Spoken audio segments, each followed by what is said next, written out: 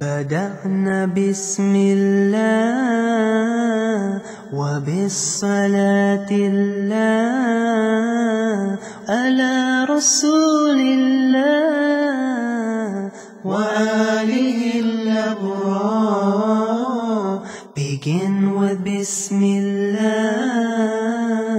and with Salatillah upon Rasulillah righteous family. بدأنا بسم الله بسم الله الرحمن الرحيم إن الحمد لله نحمده ونستعينه ونستغفره ونعوذ بالله من شرور أنفسنا ومن سيئات أعمالنا من يهده الله فلا مضل له ومن يضلل فلا هادي له وأشهد أن لا إله إلا الله وحده لا شريك له وأشهد أن محمدا عبده ورسوله Evil actions of the heart and the tongue. Lecture number 20 and we are talking about the evil act of the tongue, lying. And this is the second meeting, talking about lying. يقول النبي صلى الله عليه وسلم من كان يؤمن بالله واليوم الآخر فليقل خيرا أو ليصمت Anyone who believes in Allah subhanahu wa ta'ala and the day of judgment, he should say good or be quiet. This is an Islamic principle and it is a fine scale when it comes to talking. Truthfulness is the pillar of prophethood and it is the origin of everything good. Without truthfulness, the legislations will be invalid. Allah subhanahu wa ta'ala told us that the opposite of truthfulness is lying. And lying is a disease. And it is a horrible manner. And Allah subhanahu wa ta'ala said, إِنَّمَا يَفْتَرِ الْكَذِبِ الَّذِينَ لَا يُؤْمِنُونَ بِآيَاتِ اللَّهِ وَأُولَٰئِكَ هُمُ الْكَاذِبُونَ those people who don't believe in the signs of Allah subhanahu wa ta'ala are the one who invent lies against Allah subhanahu wa ta'ala and His Messenger. So lying about Allah subhanahu wa ta'ala and His Messenger is kufr. Ibn Kathir rahimahullah interpret, uh, interpreting, uh, interpreting the meaning of this ayah, he said Prophet Muhammad sallam is not a liar. Because the liar is the one who lies about Allah subhanahu wa ta'ala and His Messenger. And those people are from the worst and the horrible evils on this earth. And He sallallahu alayhi wa sallam is the one with the absolute good manner. He sallallahu alayhi wa sallam the most truthful among people. And He is the one with the most sound mind, and he is the one sallallahu wasallam with the most knowledge, and with the most who act upon that knowledge, and the one with the biggest iman, biggest belief in Allah subhanahu wa ta'ala. He was so good to the point that his people called him Al-Amin. This name was granted or was given to him by his enemies. It is not his mom or his dad or his relative called him Al-Amin. It is the people unanimously agreed upon his name Al-Amin. 40 years, that is the name that they called him with and used it. And this is very evident also when Abu Sufyan met with Heraclius and he asked him about Prophet Muhammad sallallahu alaihi wasallam. Heraclius asked Abu Sufyan, he said, did he lie? Or did he ever lie before? He said no. So he was not even a believer at that time, and he denied that Prophet Muhammad ever lied. We are talking about the tongue. The tongue is very dangerous.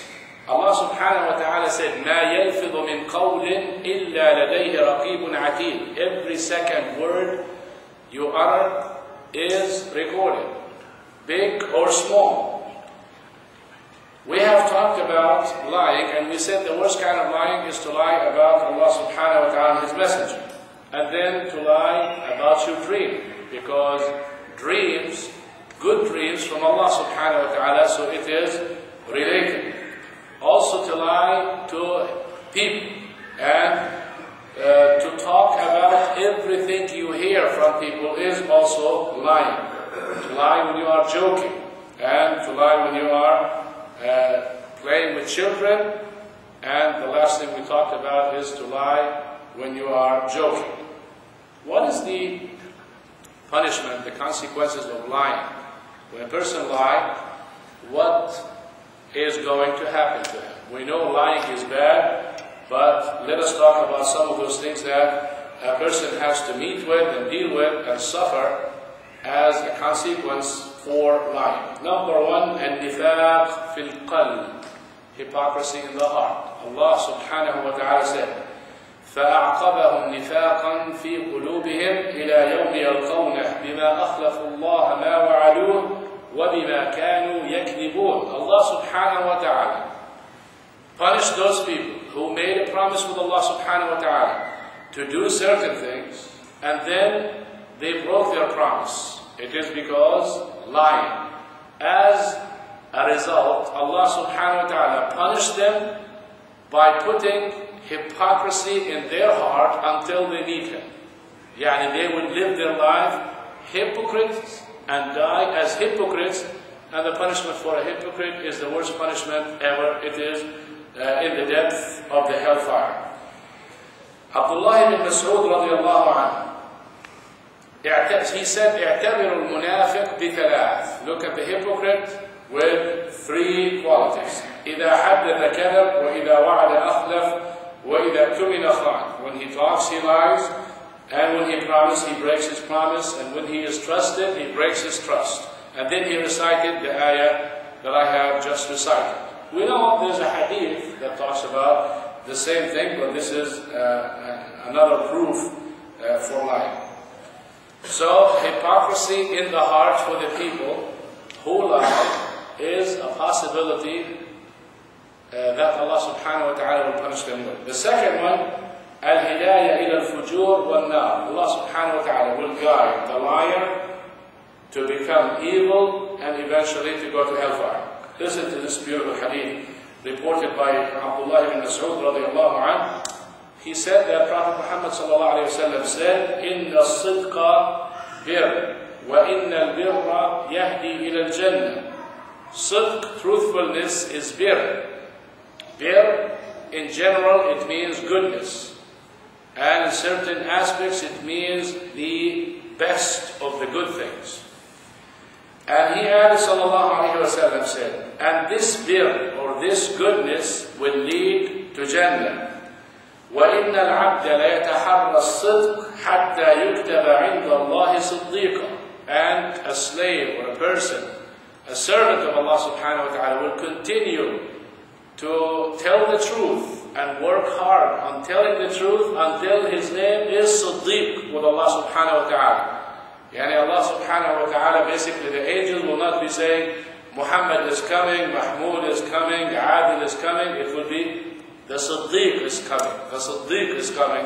His name will be with Allah subhanahu wa ta'ala and the angels as Siddiq. Like when Prophet Muhammad sallallahu alayhi wa was with the people, they used to call him that instead of his name Muhammad. On the other hand, Allah subhanahu wa ta'ala, the Prophet sallallahu alayhi wa sallam said, وَإِنَّ الْكَذِبَ فُجُورٌ Kadhib is fujur. It is a sin. It's exceeding the limits. It's going outside the boundaries of goodness. And fujur guides to the hellfire. وَإِنَّ الْفُجُورَ يَهْدِي إِلَى النَّارِ وَلَا يَزَالُ الْعَبْدُ أو وَإِنَّ الْعَبْدُ وَإِنَّ الْعَبْدَ لا يتحرى الكذب حتى يكتب عند الله كذابا. And the person continues to lie. It could start from a joke. It could start with dealing with children. It could start with just messing around. And you do it once, twice, You get used to it until your name will be Kadhab. It's not Muhammad is coming, it's not Adil is coming, it is the liar is coming. This is how the angels uh, would uh, be calling the person. Al-Imam al-San'ani rahimahullah, he said, in this hadith, it is, uh, there's a hint in it that the person can exert effort on being good and telling the truth and continue to tell the truth in his actions until it becomes a quality of his. This is his quality. He cannot lie because this is what he trained himself to be. Vice versa, he can do the same thing when he is lying. He continues to lie until he becomes a liar.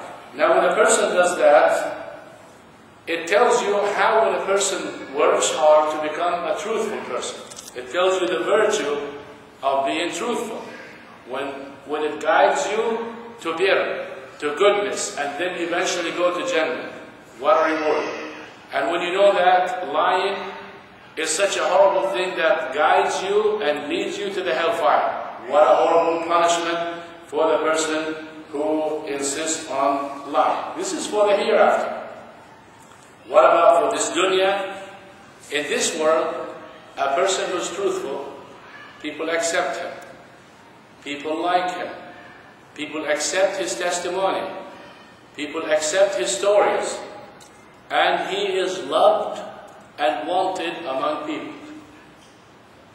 No one, Muslim or non-Muslim, believer in Allah or not believing in Allah, would hate an honest person. Being honest is loved in this dunya and this is uh, the reward for those people who are truthful. Anyone who testifies, one of the testimony condition he has to be truthful. If a person wants to narrate hadith, he has to be truthful. Everything will be rejected. When you lie to someone so many times, he will stop listening to you. Or he will listen to you, but he will not buy anything that you are saying. So you will be rejected, and that is the punishment for the person who is a liar in this dunya. The third thing that the person needs or will suffer from lying, Raddu Shahada, his testimony will be rejected. قال ابن القيم أقوى الأسباب في رد الشهادة والفتية والرواية الكذب. Among the biggest reasons for rejecting testimony and giving legal opinions and narrating hadith is lying. Lying, if you look in the uh, science of hadith, one lie, a person one lies, his hadith is rejected even if he's telling the truth. If it is affirmed that this person lied before, imagine. Imagine if you think about ourselves, how many times we lie. And then you look why we are talking about the Sahaba and giving them this great status. And why we are talking about the scholars and giving them this great status when they report the hadith. Those scholars was not a single lie knew, known, has been known about them, otherwise their report would be rejected. So this is uh, whom they are. And he, Ibn Qayyim rahimahullah said, he said, كذب فساد في نفس آلة الشهادة والفتية. Now this is the weapon, or this is the instrument of testimony, the body, the person. Now, telling the truth or lying is a quality. It is in that instrument. So, if the person is a liar, then this instrument is malfunctioning. It's not working properly because there's a defect in it. This is like having uh, something, a motor of something, and there is something going wrong and it doesn't work. So the person who is a liar will be, his testimony will be rejected. It is like a blind person testifying or witnessing seeing something. He's blind. Or a deaf person listening to the testimony of someone and affirming that. How can you? The instrument is malfunctioning. The same thing, the person who is a liar, he is the same way malfunctioning, so he will be rejected. Another aspect here that a person will suffer from lying سواد الوجه في الدنيا والآخرة the darkening of the face in this dunya and in the hereafter. Allah subhanahu wa ta'ala said the day of judgment ويوم القيامة ترى الذين كذبوا على الله وجوههم مسودة The day of judgment you will recognize the people who had lied against Allah subhanahu wa ta'ala and His Messenger by their faces being darkened. The day of judgment. Ibn Qayyim rahimahullah said, he said the day of judgment, the slogan of the liar is his face. His face will be very dark, very black. Everyone, the day of judgment, who is qualified, who had done good, his face is white. يوم تبيض وجوه وتسود وجوه. The people of the Sunnah, the people who follow the path of Prophet Muhammad sallallahu alaihi wasallam, their faces will be white, and those who went the other way will be dark. And those people, in fact, who lie. One point I'd like to elaborate a little bit about is the dark and the white, the black and the white. We know that Allah subhanahu wa ta'ala looks at the heart of the people.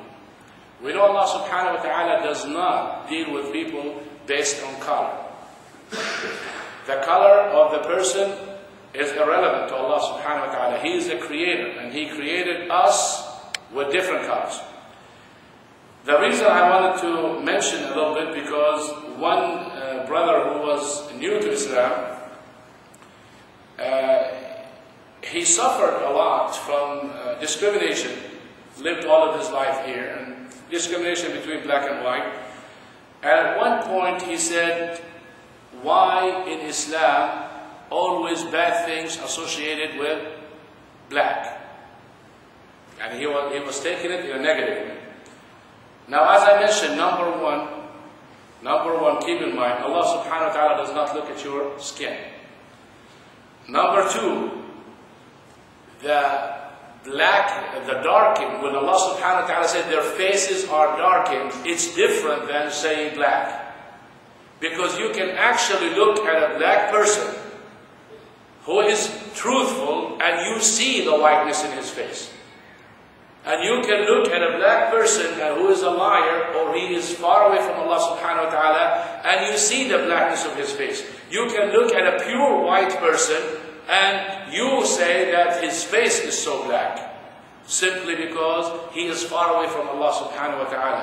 So these are things very common and people can relate to it. You can see black people, their faces is radiating light. And you see the other way, white people, their faces is so dark. Another thing is not all the time bad things associated with uh, black. For instance, Allah subhanahu wa ta'ala said, وَابْيَضَّتْ عَيْنَاهُ مِنَ الْحُزْنِ فَهُوَ كَظِيمٌ Yaqub alayhi salam, when he cried for his son, Yusuf alayhi salam, and the other one, Benjamin, what, did, what happened to him? He continued to cry, to cry until his eyes became white. Is this something good? He went blind. Darkness in the eye is a beauty. Darkness in the eye is a source of light. Yet when this darkness goes away, it is uh, blindness. Give you another one. Hijab. When it comes to hijab, hijab al-mar'a al-aswad أفضل من حجاب المرأة الأبيض. The black clothes of a woman in hijab is much better than the white clothes of another woman with hijab. And we know that the companions' uh, uh, wives, radiallahu anhum, that when the verse of hijab was revealed, they were completely covered in black. Give you another one. People with high status, president and such, their beautiful cars, what color? Black. So black is a sign of prestige also. You don't find a purple car or a red car coming for the president or something like that. It is always black. So uh, I, I, would like to, I, I wanted to uh, clarify this a little bit because unfortunately, our lack of understanding what is white and what is black, we take it just uh, as we see it. But really, you can see a lot further or behind the skin when someone is obedient or someone is disobedient. So, أحسن. The black stone.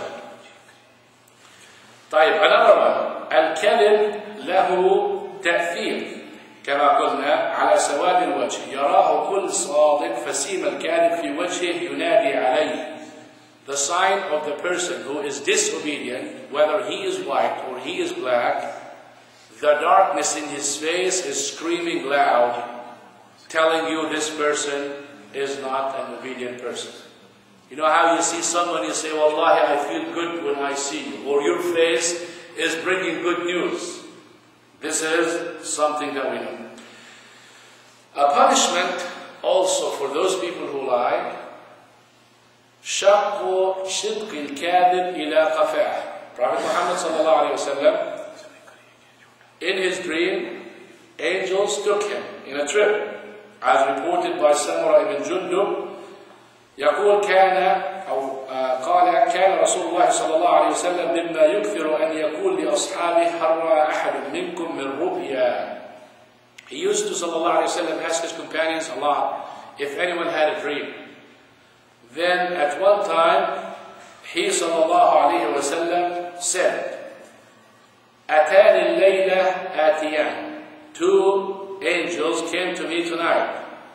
وإنهما ابتعثاني وإنهما قال لي انطلق They sent after me, they came to me and they said, let's go. فانطلقنا فأتينا على رجل مستلق لقفاه وإذا آخر قائم عليه بكلوب من حديد وإذا هو يأتي أحد شقي وجهه فيشرشر شدقه إلى قفاه He said, we came to a person lying on his back and another person standing over him. He is getting a hook made out of metal and he puts it inside his mouth, one side of his mouth, and he pulls it, he rips it all the way to his back. Then he does the other side. Then he does it in his nose and he rips it. Then on the other side of the nose and he rips it. Then he, sallallahu alayhi wasallam, mentioned in his eye. And he would rip it all the way to the back and with his other eye the same way. ثم قال يتحول إلى الجنب الآخر. He, do, he does it in one side, then he goes and moves to the other side. As soon as he finishes this side, he goes to the other side. When he finishes the other side, the first side is healed. What does he do? He goes back to it and rip it again. This is a continuous punishment for the person who lies. This is a punishment that Allah subhanahu wa ta'ala's messenger told us that the person will, will get for lying. And then he asked Prophet Muhammad sallallahu alayhi wa sallam, the angel, and he told him, uh, the angel, he told him, إنه الرجل يغدو من بيته فيكذب الكذبة تبلغ الآفاق. He said, this is the person who leaves his house, he says the lie that goes way up in the sky. You know, one word can destroy a family. One word can, can actually destroy a community. One word can start a war. It is, subhanAllah, look at the power of the tongue and the power of the words that we use all the time. You can injure someone really bad with one word. And this injury is worse than hitting him or doing any kind of injury to him different than words. Words, when you injure a person, doesn't heal. It takes a long time and it will never heal actually. The person may forgive you, but the effect is there.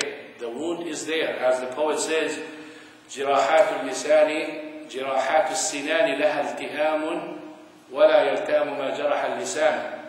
The wounds of the swords and such, it will heal. but the wounds of the tongue it will not heal.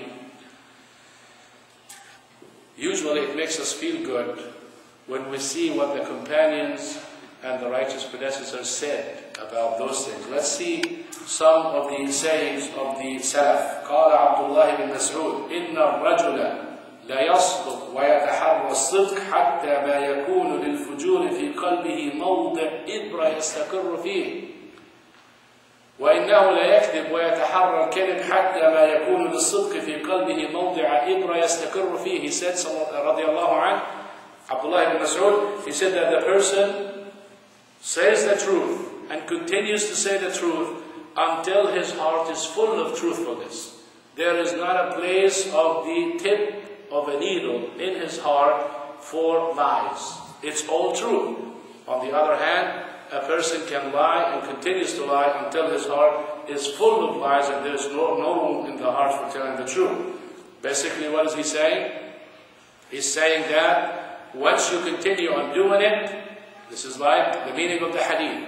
It will be a quality for you, and your name will be either a truthful or a liar.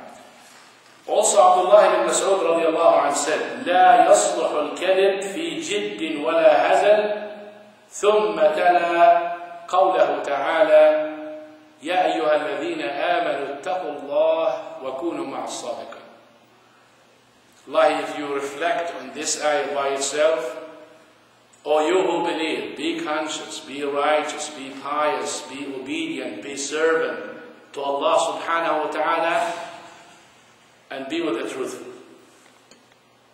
Be with the truthful. ولا تطع كل حلاف مهين. A person who swears constantly, lies to make people believe him.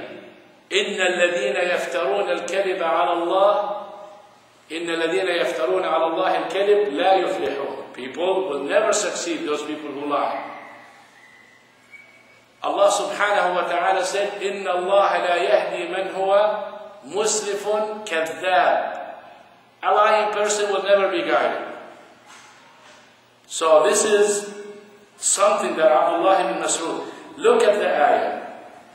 Be conscious, be obedient, and be with the truthful people. Why? Because truthful people, look what they will be.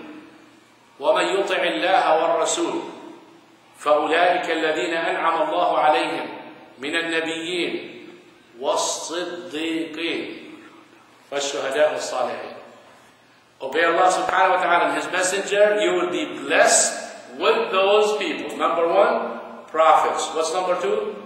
Siddiqeen, truthful people. Immediately, right after that, the truthful. So when you are with the truthful, this is your status. Why do you think Abu Bakr Siddiq was called a Siddiq?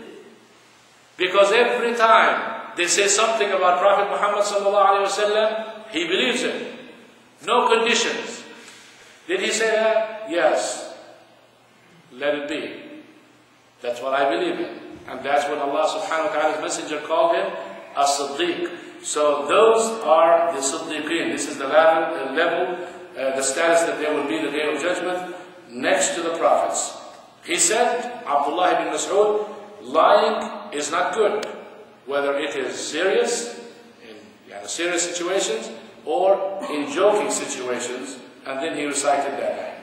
Abu Bakr as-Siddiq radiallahu anhu said, إِيَّاكُمْ وَالْكَذِبْ فَإِنَّهُ مُجَانِبِ الْإِيمَانِ Be aware of lying because it is far away from Iman. Here is Iman, the opposite of Iman is kufr.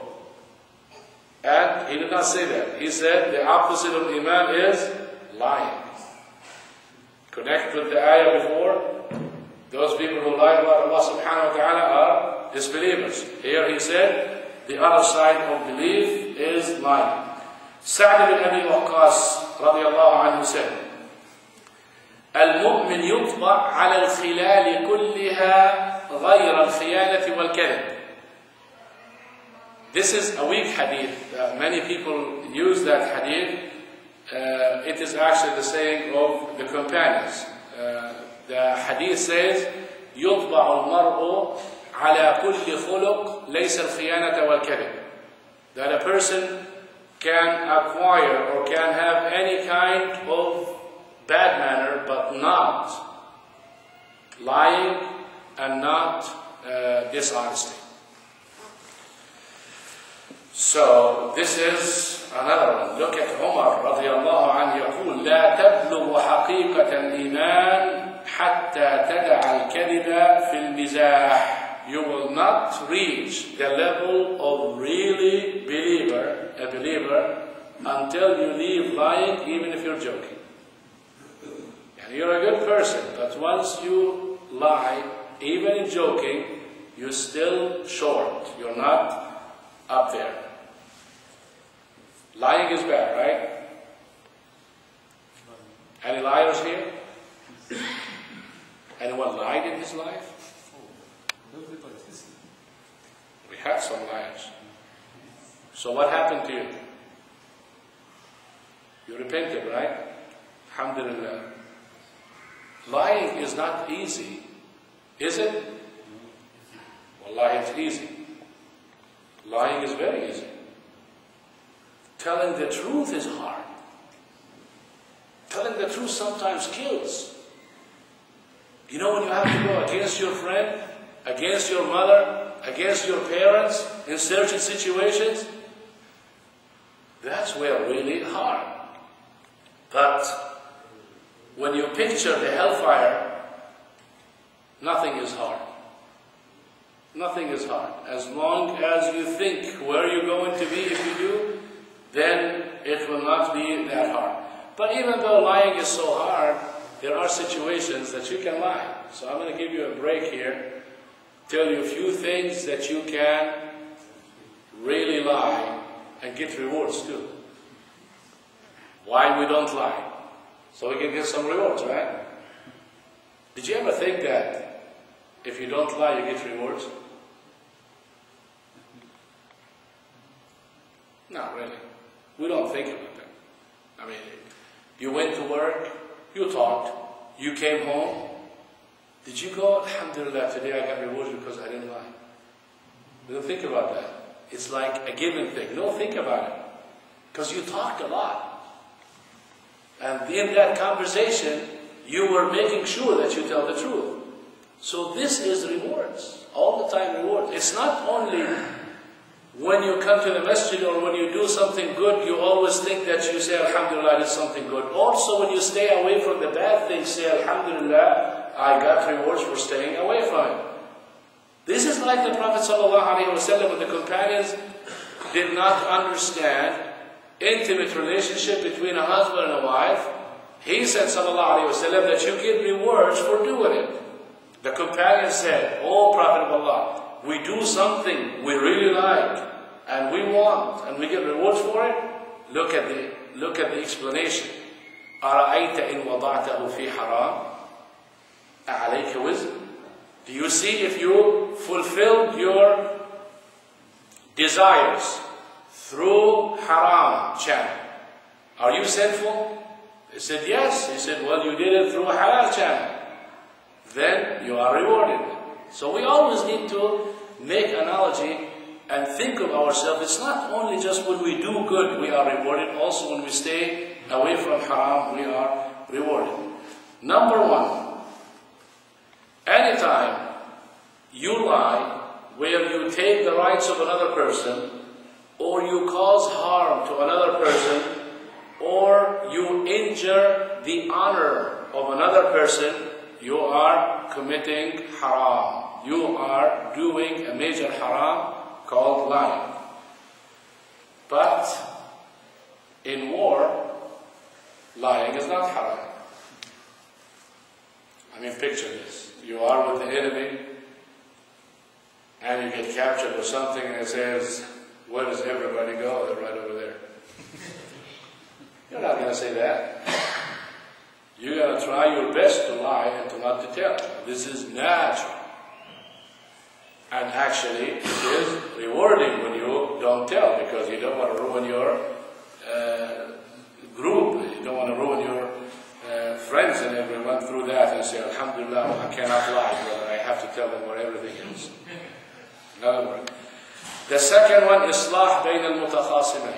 two people having a dispute. Now, you really want to lie. I mean, you don't look for a liar to do that. An honest person is the one who really takes a step forward. Because a liar will never do anything for the sake of Allah subhanahu wa ta'ala. A truthful person comes to do a good lie and he works good at it. Why? Because he knows he's getting rewards for it. It's like, boy, it's my chance. I gotta do a good lie now. You go to the person and you pass a message, you know, you know, you're talking about the other guy, you know, he is so and so. Allah, the other day, I was with him and he did not say anything bad about you. Actually, I did not even realize or notice that he has a problem with you. And you go to the other person, you tell him that. Both of them meet, every one of them have the good picture of the other. They will be racing to who is going to shake hands with the other. That one is racing because he thinks he likes him, and the other one is racing. This is what Allah subhanahu wa ta'ala wants and likes. Many of us don't do that. Many of us will go in a much horrible way. They go to this person and they flame him more. He comes and says, No, this person, you don't know him. Now, I'm talking about the fighting person. I am going to make a sly. And then he will say, This guy is, you don't know him. I know you're coming to reconcile. But this guy is bad, he did this, so and so, and you'll be sitting and going, Okay, yeah, see. You confirmed everything he did. instead of coming and saying, No, brother, you misunderstand. He is not like that. You're thinking that. This guy cannot express himself. This guy, uh, he talks like that. He doesn't mean it. It's not coming from his heart. And you give him example. This is a life that is loved by Allah subhanahu wa ta'ala and great reward for it. The next one, everyone loves. And I'm sure all of you liars. For only those who are married. كذب الزوج على زوجته. Lying to your wife is wonderful. You probably do it anyway, right? But you were not getting rewards for it. Because you get the reward only when you're doing it and you know that this is something in our religion rewarding. Without knowledge, you don't get it. But you know, all of you are happy because it's like, alhamdulillah, I can lie to my wife. Well, brother, listen to this. Prophet Muhammad sallallahu alayhi wa sallam said, لا يحل الكذب إلا في ثلاث. Lying is haram, prohibited except three situations. يحدث الرجل امرأته ليرضيها. The man talks to his wife to make her happy and content. If she has a problem with her size, tell her she's so skinny. If, but you know. Also, a lie can be, you know, we say like, uh, how do you know it is a lie from the size of it? so don't come to someone 500 pounds and go, mashallah, you're an athlete. No. Look, and sallallahu alayhi wa sallam said, ليرضيها و the wife can do the same. So for those who have lots of mensa, she can tell him, mashallah, you know, the kids can slide. People think it's bad. No, there's a good aspect. Look at the children sliding on your family. Makes him feel good. So lying, a husband lying to his wife in anything that strengthens the relationship is okay. And the, the wife can do that. Most of us know that the husband can do it and the wife cannot do it. No, no, they can do the same thing. So there's no harm in always trying to strengthen their relationship, and you know that some people don't do that. They don't, they don't, even if it's real, they don't do it. Yeah, look at Islam. How Islam cares for the relationship between a husband and a wife. One thing that I want you to keep in mind, الزواج الناجح, the successful marriage, ما كان بنية خدمة الزوج الآخر تقربا إلى الله. If you really reflect on that, you will 100% believe it. If you want to see successful marriage, it is when you find the husband, his main goal is to serve his wife. Serve his wife for the sake of Allah subhanahu wa ta'ala. And the wife, her goal is to serve her husband, to please Allah subhanahu wa ta'ala. This is a definite success, successful marriage. When the husband does what he does, he controls his anger because it's like I'm a slave to my wife. We all are, right? And she is a slave to me. I do everything because it's pleasing to Allah subhanahu wa ta'ala. I control my anger. I overlook some, some of the mistakes that happens. I compliment her. I help her because I see myself as a slave to her for the sake of Allah subhanahu wa ta'ala. And if she sees that, herself, that she is a slave to me for the sake of Allah subhanahu wa ta'ala, then who is going to say who is the boss of the house? Or where would that even have a place to even talk about it? It wouldn't. Because when you do things for the sake of Allah subhanahu wa ta'ala, if you truly love someone, you serve him. And you will be happy serving him. And that is something that we really need to reflect.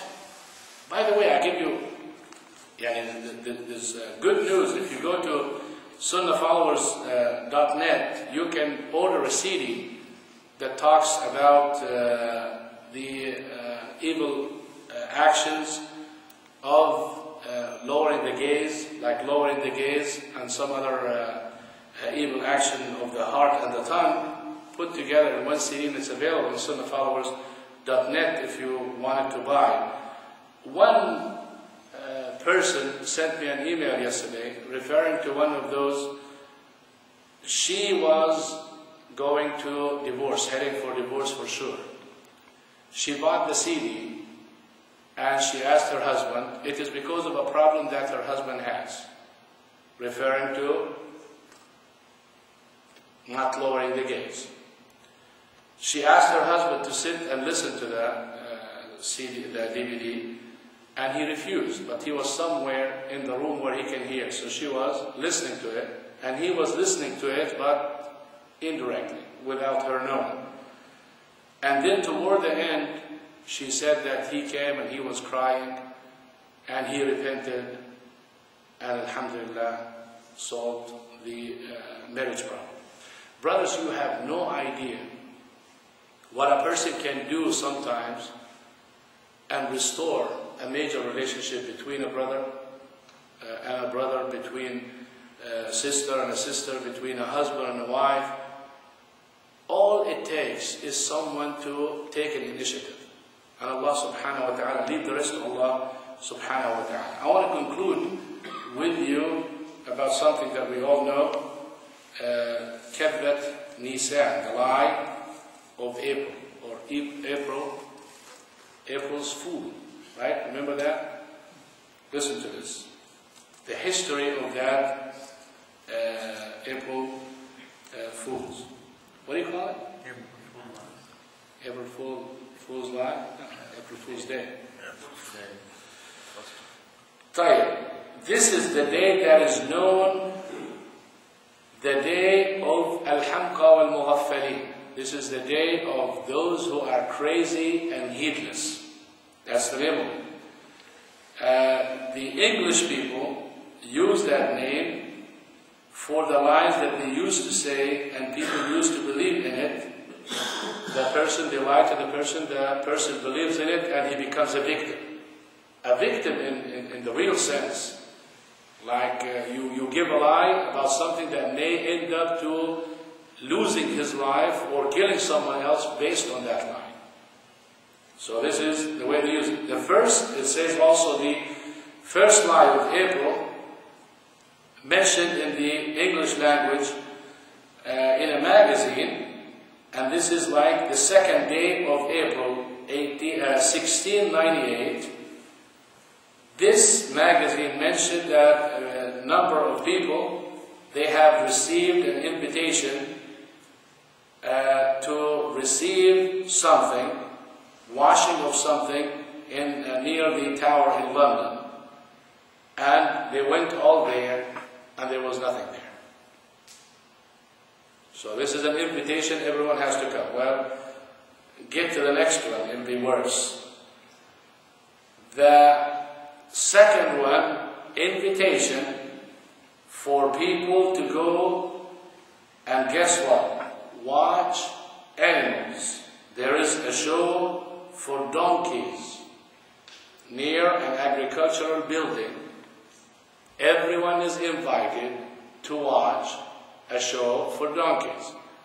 Everyone gathered, waited and waited and waited and waited. Nothing is there. It turned out to be what? They are the donkeys. it's a show for themselves looking at one another. The real meaning or real name, it's not really uh, April, it's not April's Fool Day, it, it, is, it is a trick. It is the trick of April. And, and this has also uh, an Islamic origin. Uh, when Muslims were, uh, a long time ago, when they were uh, ruling uh, Spain, like there was so much power there that everyone was trying to expel them. And they could not do anything. They started to see what is the source of the power of the Muslims. And they found out what? Take a wild guess. What is it? Truth. Their faith. So this is the only way that they can, brother, when you when you have faith, when you are connected with Allah subhanahu wa ta'ala, there's nothing above that. So they wanted to do something to ruin that, and guess what they did?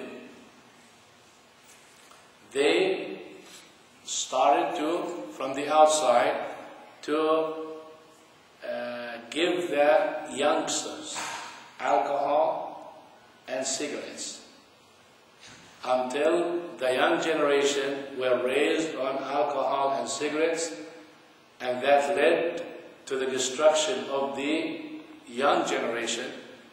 That led to the same thing, to the uh, loss or the expel, uh, you know, the Muslims were expelled from uh, Spain as a result- result of that. So they were celebrating that day for those crazy people who lost the last battle in Spain in Granada. What is the meaning in Granada in Arabic? Granada. Cordoba? Cordoba, I think. Cordova. Cordova, yeah. This is the last one that they lost in, and this at April Fool's Day was meant for that, but it went as general for everyone else. But we know for a fact, this never happened the time of the companions radiallahu anhum, or the time of the tabi'een. This is haram in our religion, because joking is haram, and uh, any form of lying is haram unless it is for those three things that we have mentioned. With this, my friends, we conclude the topic of lying, and we will be, inshallah, uh, selecting some other topic. Some people want to talk about something else, but uh, I may continue until uh, with another topic until I leave for three months. I know it's a short trip to go back home, visit with the family. I'll be leaving May 20th, coming back August 20th. Then when we come back, we'll do a real good series that everybody was requesting. You know what it is? Hmm. Seerah? Well, if you said that, I'm not even going to say it because it's way away from that. You want Seerah? Sure, I'm going to Seerah. Maybe we can do two days. One day in Arlington, the brother would come, right? okay, two days here. Fine. Guys, we'll keep it one day, inshallah. We plan on that. If you have any questions Yeah. referring to this, inshallah, go ahead. Is it